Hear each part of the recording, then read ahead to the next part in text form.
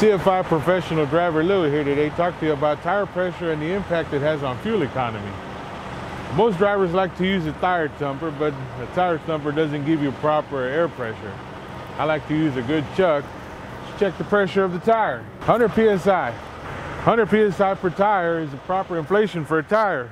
10 PSI loss between tires impacts the fuel economy by 1% and it impacts the, the life of the tire by 30%. Just like the truck, now we got to check the tires on the trailer. That's at 100. Oh, that's at 80.